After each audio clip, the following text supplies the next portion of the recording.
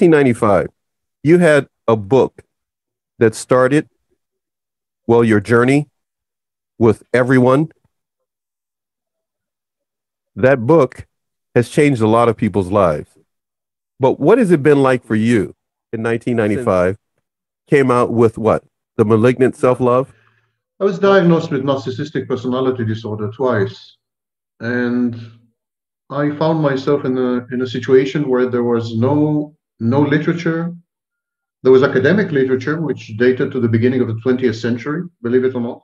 There were some studies conducted in the 70s, but there was no literature, definitely not popular literature. I wanted to understand my disorder. I wanted to pull myself out of the out of the rock bottom situation I found myself in. And so I started to study. And, and then the first thing I discovered is there was no language. There was simply no language. I was trying to explain, I was trying to describe internal dynamics in myself. Mm-hmm. I was trying to um, commit to paper relationships, what happened in my interpersonal relationships, intimate relationships, workplace relationships, etc. And I couldn't, there was no language, simply. So the first thing I did in, in 1995 was invent a whole new language. So the bulk of the language in use today, for example, narcissistic abuse, right, but not not only, uh, was actually either I either invented it, I either coined it, or I borrowed from early psychoanalytic literature, psychoanalytic literature in 1930s up to the 1960s, I borrowed terms and phrases from that literature and I adapted them to the study of narcissism. So today, about 90% of the language in use is the language that I uh, came up with in the in the 90s. It's a derivative. I did that. I did it first and foremost to capture my experience so, initially. So today, much is a derivative of your exploration into understanding or setting a language for what you were going through. Yeah, it started 90, like that. 90%. I'm going to make sure I understand. 90% of what everyone is batting around came about because you well, were. The language. The, the language. I mean, the language. The, the overall. Yeah, the language, yeah. The language is easily 90%, if not more. I mean, flying monkeys, hoovering, uh, somatic narcissist, cerebral narcissist, inverted narcissist, um, narcissistic supply, false self, devalue and discard, narcissistic abuse. These are all my creations or adaptations of early early psychoanalytic analytic literature. In 1995, you were a professional at that time, yes, right? You're a professional. I was a, I was actually a businessman. Oh, oh you were a businessman. Okay, all right. You're a businessman. Now, you, you and a physicist. and oh, a physicist. And a physicist. Right. Right. Right. That's right. I'm trying to wrap my brain around this much. Before that time frame, there was no one that could help you with the language. Were you seeing a therapist or anything like that at that time? Nobody could. So I was diagnosed by two therapists, but you must you must realize that the first time narcissistic personality disorder yeah. had, had appeared in any meaningful text yes. was 19, 1980. That's not a long time ago. No, that is not. Okay, no. you're, blowing, you're blowing my mind, Sam. Night, okay, that's so not that's, long that's, ago not long ago. So when the first time I'd been diagnosed with narcissistic personality disorder was 1985. That was five years after NPD made it into the Diagnostic and Statistical Manual. Got it. Got no it. one knew anything about NPD. Nothing. There was nothing. There was no literature, no scholarship, no nothing. It was virgin land, terra incognita. when I when I attempted to describe to people what's going on inside me, Right. And what it is that I'm doing to my so called nearest and dearest, my insignificant others, my non intimate partners, you know, right. I was trying to, to convey this and I was trying to communicate.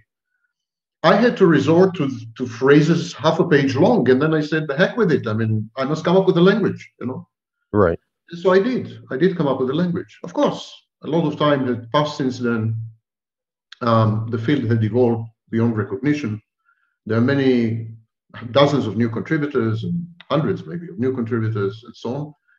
But I think I think my initial work was pioneering and, and I think it had transformed it had transformed society in, in several ways. For example, today the concept of narcissism is an organizing principle. Today, when you try to explain someone's behavior, I get you. Polit- politics, yes. Yeah. corporate misbehavior, Yeah. uh, the law, law enforcement, hmm um, victimhood movements, or um, you know, when today narcissism serves as the principle of organization of social and individual interactions.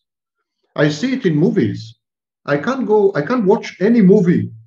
I can't watch any documentary without coming across the word narcissism in the first five minutes. Narcissism, narcissist, this, that. So today, narcissism is, is a buzzword and a keyword. It is by far the, the hot button topic in psychology. Yes. Yes. Uh, If that's the case, does it seem like the very concept of what it what it stood for when you started has been watered down, diluted, or confused? Yes, narcissism, of course, pathological narcissism is a clinical entity. In other words, it's a diagnosis in clinical psychology, abnormal psychology. Mhm. And now it's been exactly as you say, it's been diluted or watered down, and it became a pejorative. It became became a, cu- a cu- curse word. There you go. It became a way to demean and devalue other people you don't like, Label institutions, institutions you don't like. Politicians, whatever it may be. Uh, Yeah. It could be it could be any structure. You can label it that way, and Yeah. uh, people could run with it in many directions. But when it came to your life, it began to give you an opportunity to explain what you were putting others through. Would you say? How'd you say insignificant others? Is that what you said? Yeah, that's what I said. The insignificant others. What were you doing to others? If you had a way to describe it succinctly, shrink wrap, I, I, how would you describe back then the Sam of 1995, 80, 85 to, to 95 before you? No, nothing, nothing has changed. It's a common myth. It's a common myth that insight and learning and knowledge Changes. cause, tra- cause transformation. It's No. not true. Okay. I know everything there is to know about narcissism. I wish to believe, and yet nothing has changed in me. I'm exactly the same as I as I had always been. And what I do to other people, especially intimate partners, but not only business partners, Okay. what I do to other people is that I objectify them. I take away their vitality. I reduce them. I reduce them to a function, an instrument, a tool, a device. I make them lose the ability to conceive of themselves as separate entities with rights, wishes, preferences, priorities, and so on. I assimilate and digest them. I body snatch and mind snatch. Do, do you And find, then I take over from the inside. okay, so do you find yourself affecting other individuals' thought patterns, desires, motivation? And if so, do you affect other people's thought patterns? Because when you walk into a room or when you begin to just talk with them, Everything I say apply to, applies to all narcissists, especially to psychopathic narcissists. But I zombify them. I take away their vitality, as I just say, said. okay, I, I render them zombies. They go through the motions, they say the right things, but there's no sparkle in their eyes. There's no spark in their eyes anymore. There's It's no that- blood flow. it's zapped, it's zapped, it's not in their eyes anymore. So uh, then I ask you this. Um, Sure. I'll throw a word at you and you tell me what you think. The word affection. How do you view the word affection and any any connotations or thoughts that come with that from your perspective? I'm incapable of experiencing positive emotions because in, in my Got world, Okay. positive emotions are intimately linked with negative emotions, and negative emotions are life threatening or dysregulated. Got it. Got So it. if I allow myself to experience anything positive, the gates the gates of trauma will open will will open wide, For you, and I'll drown. I'll drown. I'll dysregulate. the gates of trauma for you will open up. So Yes. therefore you have to navigate and pivot away from those. I Or do have to repress. I have to repress Okay. my positive emotions because if I allow myself to emote, I I will have I will have opened the gates of my early childhood trauma. Okay. And I will drown. I'll become dysregulated. Technically, I'll become borderline. Have you, Technically. okay and and when you when you when a person say you when a person let's say it's me let's say i'm doing that if i start to move toward being borderline what does that mean for those because a lot of beginners down this journey or dealing with narcissism, listen and watch Narc Abuse TV Network. If I oh. start moving toward borderline, what does that mean? What does that mean for me and the people around me? There was a scholar by the name of uh, Rothschild. He said that uh, Rothstein. He said that uh, borderline personality disorder is a failed attempt to become a narcissist. It's when you fail to become a narcissist as a child that you end up being borderline. Okay. Now, what happens with the narcissist is reverse engineering. When you expose the narcissist to stress, especially a challenge to the narcissist's grandiosity, Mm-hmm. humiliation, especially public humiliation, the narcissist goes through a process called narcissistic injury or narcissistic wounding. Another much, much more profound process is called narcissistic mortification. In these two processes, the defenses of the narcissist crumble, disappear. And consequently, the narcissist is exposed to an, a tsunami of negative emotionality, including shame, guilt, fear, etc. At that point, he becomes technically a borderline. So narcissistic rage, narcissistic rage is a borderline state of narcissism. At that point, he becomes a borderline in the sense that he can no longer control his emotions. They become dysregulated. They take over. He's overwhelmed. He drowns in them. And he flails around and, and he lashes out. And he so he becomes very injurious to other people, dangerous to other people. Now, in some cases, um, a psychopathic state emerges. Right. So the, the transition is from narcissism to borderline and then to psychopathy. Now, that's not a steady pattern that will happen all the time, then, but it can lead to a psychopathic aspect from the borderline. A derivative of it will they can move into that area. Or let me rephrase that. I'm gonna go back to me. I could go from being borderline and then move to that psychopathic state. All borderlines, all people in a borderline state, let alone with borderline personality disorder, all of them have a psychopathic self state. Ah, okay. So it's a protective state, it's a savior state, it's a rescuer state. The psychopathic state? Yes, the psychopathic state helps to defend and protect the borderline from, from abandonment, from humiliation, from rejection, from fear, from shame, from guilt. So when the borderline experiences stress, when she feels that she's about to be abandoned, abandonment anxiety, right, right. when she can no longer regulate her emotions, mm-hmm. suddenly she becomes a secondary psychopath. A secondary psychopath is a psychopath with emotions and empathy. So she becomes a secondary psychopath and she begins to behave like a psychopath would. It's the same with the narcissist. When the narcissist is challenged, his grandiosity is challenged and undermined, when he's devalued, when he's humiliated, exposed, when, he, whatever, when he's exposed, right? Right. He then he then transitions to borderline, and then the borderline experiences dysregulated emotions, and the narcissist becomes a psychopath, a, sec, a, a temporary secondary, psychopath. secondary psycho, psychopath. When they get into yeah. the, excuse me, I'm back to me. So I get into a secondary psychopath state. When as I a narcissist, in, excuse me, just correct. As a narcissist, you're incapable of empathy and emotions, so you will transition to a primary psychopath, not secondary. Ah, okay, got it. And now once once I'm in that state, mm, everybody in my uh, in my sphere, everyone in my anybody that I come across, I'm gonna super duper lash out. As a psychopath, in the psychopathic self state, yeah, you are you are defiant, you are contumacious, you hate authority, uh, you are you are reckless, yeah. you're impulsive, you're aggressive, in the in the psychopathic system. Huge, huge emotional pushback and, and defiance will, will come to the fore. Is kind of what you're saying. If defiance, I correct aggression. Me, correct me if I understand you. Yes, defiance, aggression, um, hatred of authority and rules, uh, impulse, impulsivity, recklessness. You will do crazy things that will endanger people around you. You know. Right, right, right. And now, is is it possible that I would de-escalate or come down from that? You do always. This is a temporary substate. It's a temporary substate. Having reestablished your grandiosity as a narcissist, because when you become a psychopath, you terrify everyone around you. You set everything so, back in order, as it were. You, yes, you you feel godlike. You, yeah, you. Create, you feel godlike because everyone is terrified of you. Yeah. And oh, so yeah. your grand, your grandiosity is restored, and once your grandiosity is restored, you don't need to be a psychopath anymore. You can go back to being a narcissist. If this becomes a pattern that a person can, if, if this is a pattern that I have from childhood and I've perfected it, I can set the world or the universe in my own mind. I'm just saying this. You're the expert. Again, an audience of one.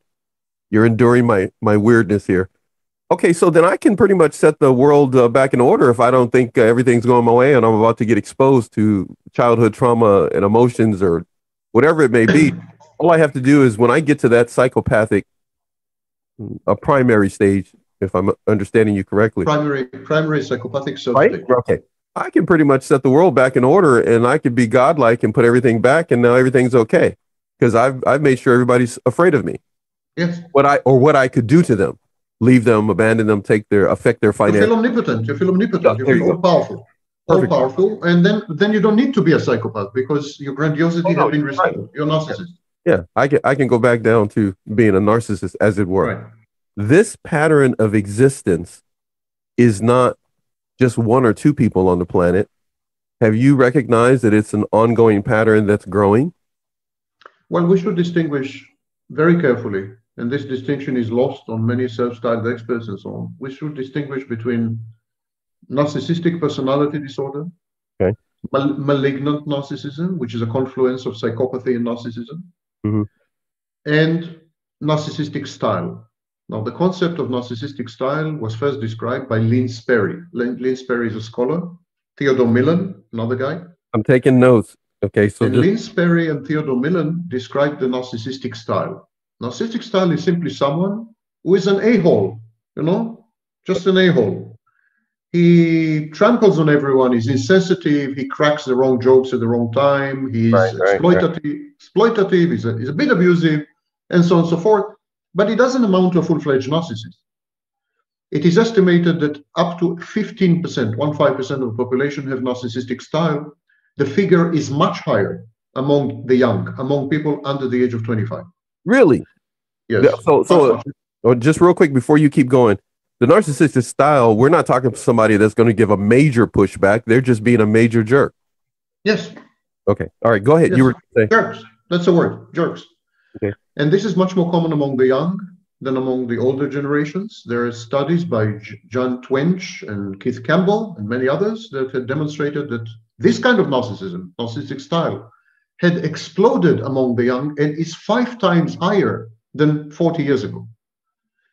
So it seems to be the style, the personality style, the dominant personality style of young people, possibly because of the influence of social media. Social media. Know. I was going to say that. Yeah, yeah, yeah. Possibly, possibly. Yeah. Well, it could. We it don't could, know. We don't know which is the chicken, door. which is the egg. Well, yeah, but one thing is for sure: you, are going to get you're going to get chicken in one way or the other. Either scrambled, yeah. or you're going to get it cooked, one or the other. So, so either way, social media could be feeding that. Uh, but that's that's something uh, that's a whole nother show. But but so when it's a narcissistic style, and then you have narcissistic personality disorder. Okay. Narcissistic personality disorder is diagnosed in about one percent of the population. One percent. Okay. And there are nine diagnostic criteria, and there is an alternative model of narcissistic personality disorder in the fifth edition of the, the Diagnostic and Statistical Manual. Okay. It's a severe, a very severe mental health disorder. Um, Kernberg, Otto Kernberg, who was one of the leading scholars of the, in, the, in the field, thought that narcissism is a form of psychosis, psychotic disorder. Mm-hmm. So it's a really, really a very bad affliction. And then you have the combination of this with psychopathy. Okay, and before that, you, that is not that is malignant narcissism. With with all due respect, please bear with me. Uh, yeah when you because i'm writing this down when you get to this aspect of the npd before we get to the one you just mentioned mm-hmm. the npd now the first one we said you know we're talking about a major jerk how would you in a few words describe this for those who are just trying to understand and who will watch this later how would everything you... is more extreme in the narcissistic style there's a deficit in empathy in npd there's no empathy the narcissistic style would try to leverage people, to use people to obtain goals. Got it. The narcissist would trample and destroy people in the pursuit uh, of ah, goals. Got it. Everything is simply more extreme. Got it. Um, so the for example, the narcissistic style would be mildly, mildly envious of other people's accomplishments and so on. the narcissist would try to destroy Uh, people he envies. So We're talking- envy, we're talking- envy is a dominant feature. we're, we're talking about somebody that that does some major demolition to somebody's Yes. life. They're they're not coming in and just kicking a few things around and throwing a They're table. not benign. They're, They're not, not- benign. You're not benign. No. Not- no, Not benign. by any means, they're not benign. They're coming in uh, driven by envy or, or or something like that, and uh, fueled with anger and other things, and they're trying to make sure you don't exist. uh, Entitlement. They're very Entitled. Oh, that's a good one. Okay. For example, people with narcissistic style are not entitled. People with NPD are entitled. Entitlement simply means that simply means that you think you deserve some things, special treatment, to talk to the top people, whatever, without any commensurate achievements, without any investment, without any effort, without any. So you believe you deserve to be uh, uh, to have a PhD without having invested a minute in studies. Yeah. Right. And everything that comes with the PhD, you want you want the PhD, Right, and you want the money, you want the want the, prestige, want you the want everything. lifestyle, with everything, and Yeah, not. but you don't want to work for it. invest in, in your studies. No work for it. Yeah, right, right, right. Well, yeah, So this is entitlement. That's entitlement. Now, now that's not that's not that's not uh, apparent or a part of a narcissistic style, though. Correct? No. Okay, got it. I'm sorry. Go ahead. You were going to say. So, so these these narcissists, this one percent of the population, and today there is a trend in academia, in universities where I teach. I teach. I, I teach Yes. psychology in several universities. Mhm. Colleagues of mine in in other universities, they try to espouse the view that narcissism and psychopathy are positive evolutionary adaptations. That it's good to be a narcissist. That we need narcissists in positions of power and authority, like chief executive officers, presidents of the United States. All I can do is I, I strongly oppose this ignorant view. This is enormous ignorance. This is not knowing the first thing about narcissism. I, I'm I'm surprised by that. Yeah, Kevin Kevin Dutton, Maccoby. I can give you many names. High functioning, high functioning narcissist. It's called. So Wow. Productive, productive narcissists and high functioning narcissists and productive oh, psychopaths. I don't even know what to say to that. There And- whole, there's a whole there- there's a whole library of books saying that psychopaths are the best thing that had ever happened to humanity because they can make tough decisions. They they you know they're great military leaders and surgeons. Oh. I mean, it's a great thing we have psychopaths. We should encourage them and egg them on. And breathe them, as it were. Yeah, in a way. So I don't think these people know what the heck they're talking about, honestly. Because, for example, narcissists, they start off very convincingly and very charmingly.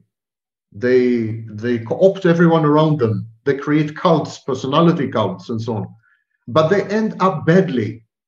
Everything around them goes up in flames. Adolf Hitler, Donald Trump, everything goes up in flames at the end.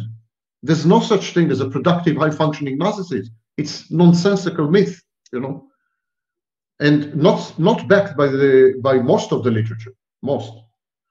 So that's apropos. Now, malignant narcissists are really, really by far the most dangerous. They are even more dangerous than psychopaths because Wait, are this, is this a Yeah. part of the psychopathy part that you're talking about? The malignant, are they in there? Is this a whole different? malignant narcissists are are confluence, combination, psychopath and narcissist in the Ah, same person. got it. Okay. They are by far the most dangerous breed. And you are talking to one right now. They're the most dangerous breed Why is that? because a, a proper psychopath, what we call factor one psychopath, a Mhm. proper psychopath, he is goal oriented. He wants money, he wants sex, he wants power. He gets what he wants.